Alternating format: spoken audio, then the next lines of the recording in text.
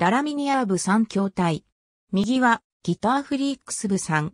ダラマナイアは1999年7月10日に B マニシリーズの第5弾としてコナミより発売された音楽ゲーム。その名の通り、ドラムを演奏するものである。通称はドラマに及びデシメートルで、二つで一つであるギターフリークスシリーズと一括してギタドラと呼ばれることもある。名付け親は小島秀夫。サードミックスまではコンシューマーゲームとしてプレイステーション2に移植がされていたが、バグ発生での回収と人気の低迷からそれ以降の新作は移植されていなかった。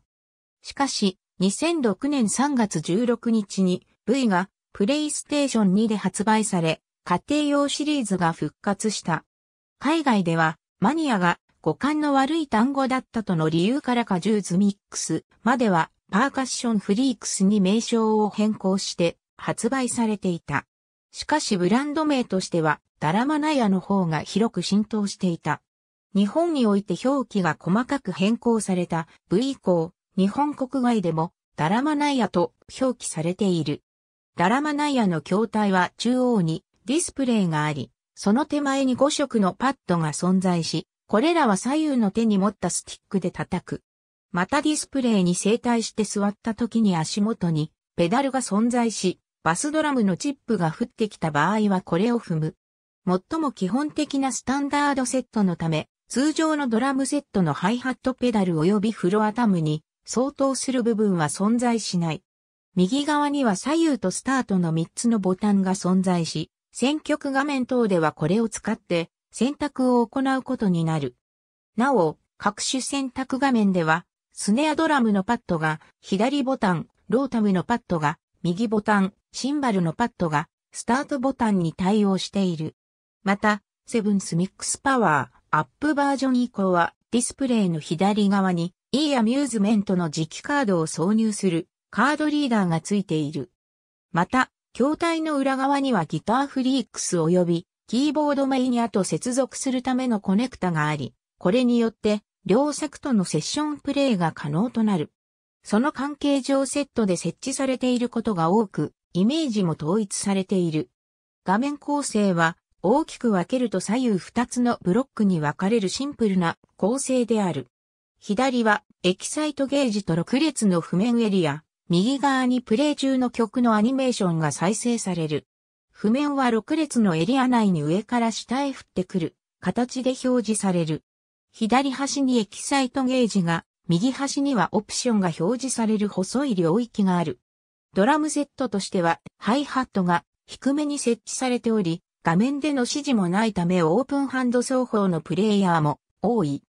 また、テンポの速い8ビートの刻みに対応するために、交互のストロークとパラディドルを織り交ぜて、ハットを刻む427奏法や、片手でスティック2本を持ってシンバルを上下から叩くといったゲームならではの奏法が生まれている。クレジットを投入し、スタートボタンを押す。セッションプレイの選択を行い、アミューズメントパスを挿入する。ゲームモードを選ぶ曲を選ぶプレイする結果の表示ゲーム終了後 EG、ベーシック、アドバンスとエクストリームの4種類が存在する。EG のみ、ビギナーモード専用。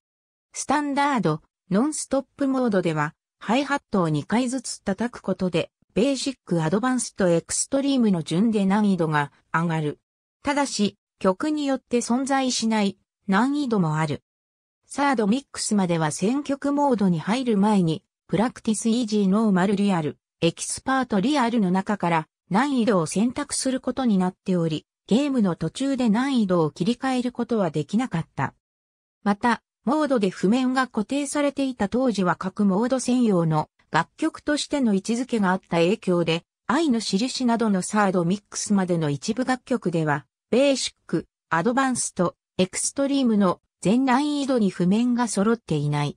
プレイスタイルメニューを活用すると、ゲームを遊ぶ上で様々な要素を自分好みにカスタマイズできる。プレイスタイルメニューは以下の3つの方法で呼び出すことが可能。特にエントリー画面で呼び出した場合は、E、アミューズメントパス使用時ならカードにプレイスタイルを保存でき、以降は同じプレイスタイルで遊ぶことができる。プレイスタイルメニューで設定できるのは以下の要素。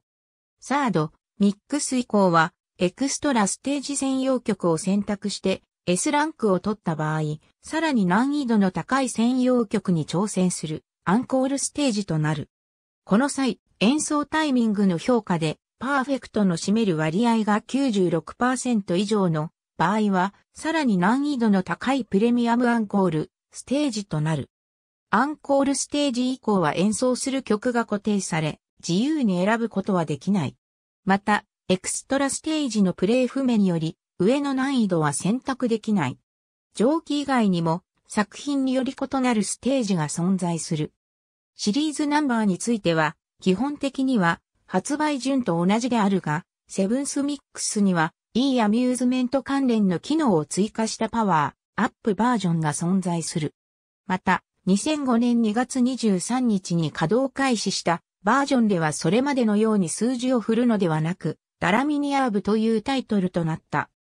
これについては、事実上同一機種であるギターフリークスとのバージョンの統一を図るためのようで、このためか現在シリーズ全体の故障の表記は、ダラマナイア、略称は DM となっている場合が多くなっている。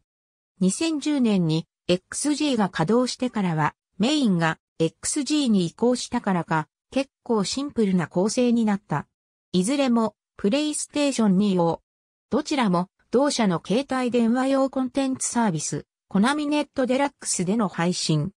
歌唱参加歴代最高に面白いゲーセンの音ゲーランキングニコニコニュース、ギターフリークスクスグさんとダラミニアックスグさんのサントラ CD 本日発売。ファミ通公式サイトハット XG3 ではモード自体が廃止されたためエントリー後直接このモードに移行する。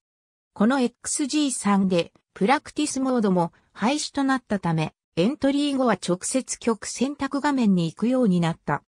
2010年の XGV7 からは、XG がレベル15、V7 がレベル14まで、XG3 がレベル10までとなった。ただし通常解禁した場合は、100として表記できないためか難度は99で表示、V4 で登場したスターオブミューズ。V7 が XG の簡易的バージョンになってしまったのと同じく、今作もコストを削減したような XG2 の簡易的バージョンになってしまっている。XG にしか収録されていなかった楽曲が収録されたり、アンコールステージに版権曲が初めて収録されるなど発展があったようだが、しかし、それでも最終的に不評がなくなるということはなかったようだ。そのため、旧シリーズとしても一番息の長いバージョンになった。接続してあるドラムコントローラーが反応しないというもの。ギタドラ、ギターフリークスフォースミックスダラマナイアサードミックスにも隠し曲として収録されているため、事実上の再収録である。版権曲の関係かと思われたが、現在 B マニシリーズのほぼすべてが家庭用ゲーム機用としての発売を行っていない、コンシューマへの移植から身を退いていることも考えられる。ありがとうございます。